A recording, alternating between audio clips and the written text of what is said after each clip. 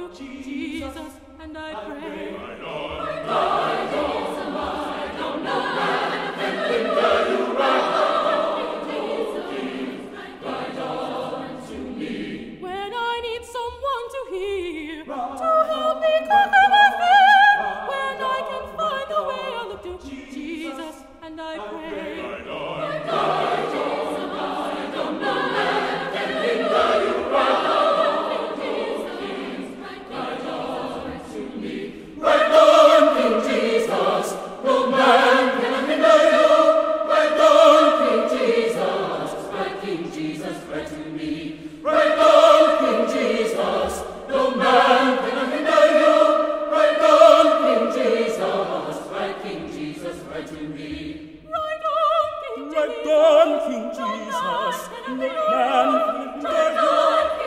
Man,